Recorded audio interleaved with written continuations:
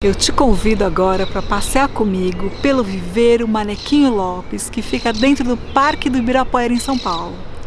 Esse viveiro ele é responsável por é, criar as mudas que vão abastecer os outros parques da cidade. Vou conversar agora com a Ione, que é responsável pela área de manejo e produção de mudas. Aproveita agora para dar um curtir aqui embaixo, se inscrever aqui no meu canal e compartilhar esse vídeo com seus amigos.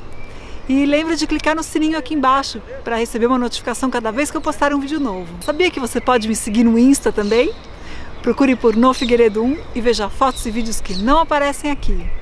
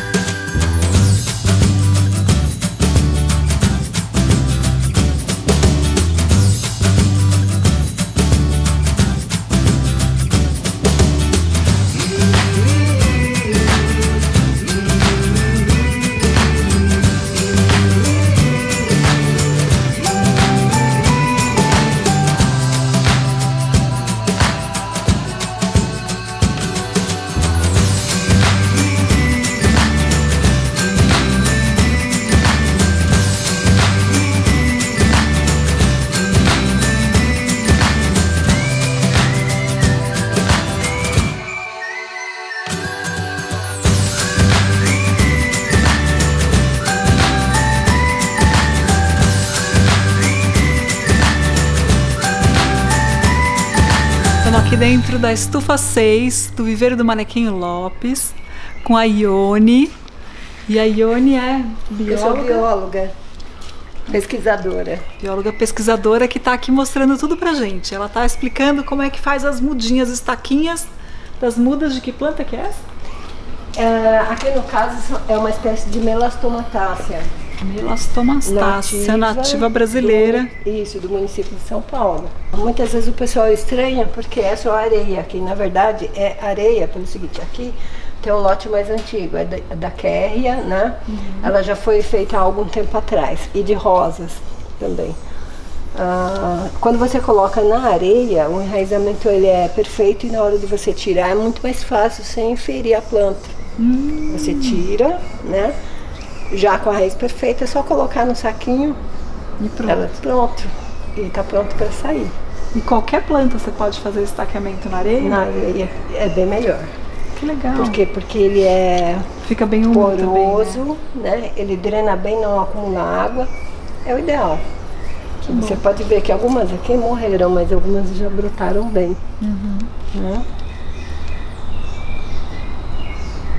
Aqui eu estou testando algumas espécies de fragária, né? Para introduzir na forração. Fragária morango, Morango. né? Tipo, Moranguinho silvestre. Moranguinho silvestre.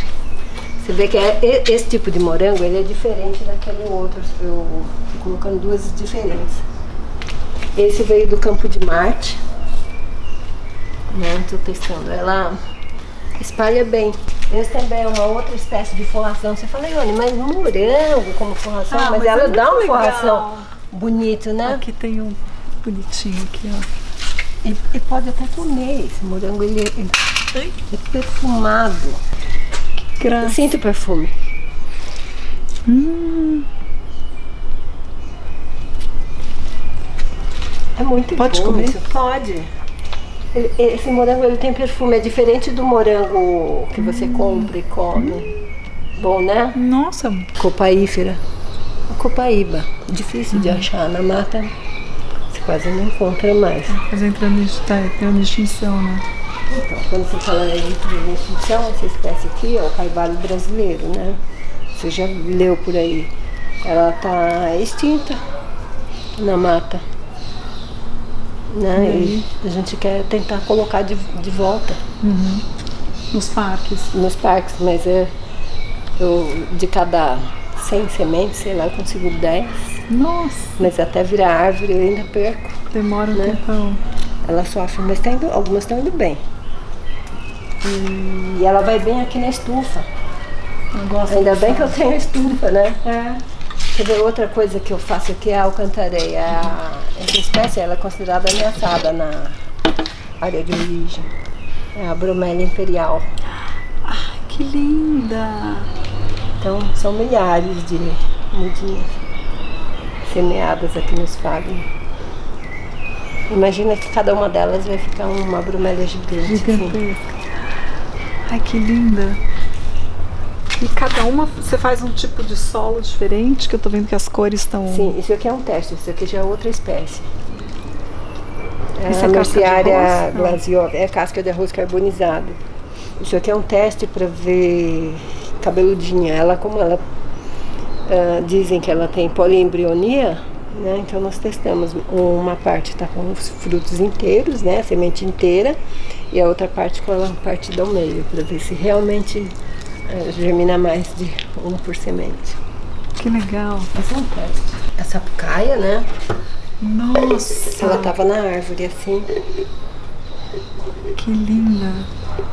E aí você corta. Corta, né? Quando ela tá no ponto, a tampinha sai, né?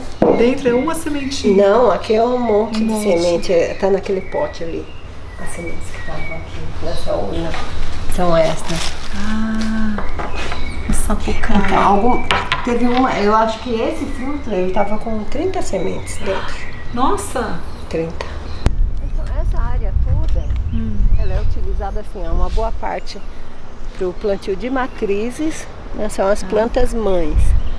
Delas é que é retirado as sementes ou as estacas para se fazer a muda. Tá. tá? No Que aí caso- depois vai para os parques. Isso, que aí depois vai para os parques. Mas todo esse processo entre desde semente até a muda ficar pronta, ser invasada para ir para a cidade, ela fica aqui. Tá. Às vezes mais de um ano. Nossa. E o viveiro abastece a cidade inteira, esse viveiro. Na verdade, nós temos dois viveiros. Esse aqui, o Manequinho Lopes, e tem o viveiro do Carmo, para a produção dessas flores. Tá. Não, o do Carmo fica lá na zona, Zona Norte, né? zona norte, zona leste, basicamente. É. E esse aqui. Nossa, E a gente tem ainda o viveiro de Cotia, que é o da produção das árvores. Esses bebezinhos, quando crescerem mais um pouco, vão para lá também. Lá é uma fazenda bem grande que faz esse procedimento para todas as nativas. Eu só trabalho com as raras, ele trabalha com todas as outras também. Para cá já é o depósito das mudas de árvore para fornecimento. É isso que o município pode levar, né? Até cinco mudas de árvore, conforme o terreno que você tem, né?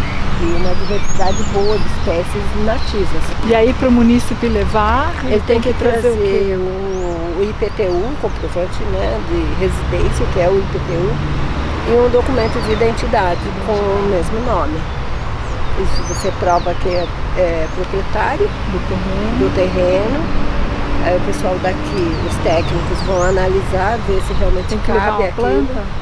Não. Ah, Pelo IPTU já já consegue dá para saber a Tá. área. Tá meio bagunçado porque esse, acho que foi semana retrasada. Eles retiraram tudo para as mudas boas já para distribuição, né? Uhum. Mas isso tudo que você está vendo aqui nesse canteiro As é, As matrizes. as matrizes. Qual é a diferença de estufa e estufim? Então, estufas são cobertas e os estufins são essas estruturas né, estreitas em que você faz a reprodução por semente ou por estaca. Né? Esse aqui é aqui o no alho. caso é um alho. Ele, ele- aqui ele está funcionando como matrizeiro.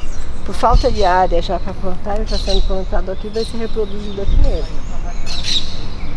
E para colocação de matrizes novas. Você vê aqui, aqui ela está sendo utilizada para reprodução.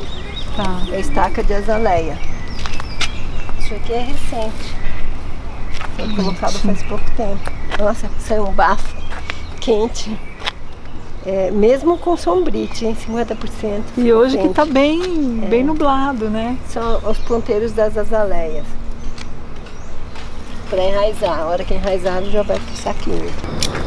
Ele vai lá no estufinho, tira o galho, traz, né? Aí deixa uma folhinha só. Só lá em cima. E aí plantar na areia.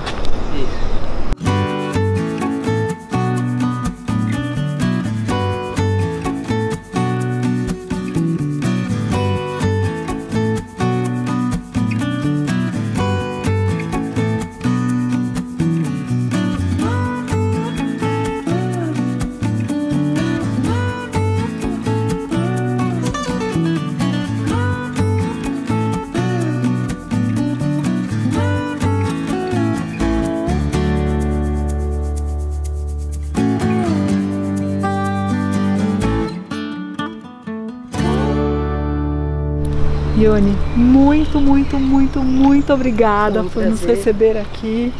Foi ótimo o passeio. Venha sempre. Que delícia. Viveiro Virei. aguarda. Muito obrigada. E aí, gostou de passear aqui pelo viveiro do Manequim Lopes? Assim que der, eu faço um vídeo aqui no parque mostrando todos os cantinhos secretos que tem aqui. O Parque do Ibirapuera é um parque que está aqui no fundo do meu coração, porque era um parque que eu passei a minha infância. Minha mãe mora muito perto daqui e eu sempre vim aqui no parque. Então eu tenho um monte de histórias para contar aqui do parque. Se vocês quiserem, escreve aqui embaixo que depois eu venho aqui fazer um especialzão aqui do Parque do Ibirapuera, mostrando todos os cantinhos, todos os lugares especiais que eu gosto e contando todas as histórias de tudo que eu já vivi aqui dentro. E se você gostou desse vídeo, dá um curtir aqui embaixo, adicione ele aos seus favoritos. Aproveite e se inscreve aqui no meu canal e no meu site para ficar por dentro de todas as novidades. E aqui tem vídeos selecionados exclusivamente para você. Conecte-se com a natureza através de meus vídeos e posts e compartilhe em suas redes sociais. Vamos espalhar o amor à natureza. Eu te agradeço. Te espero no próximo vídeo. Hum, Beijos floridos da No.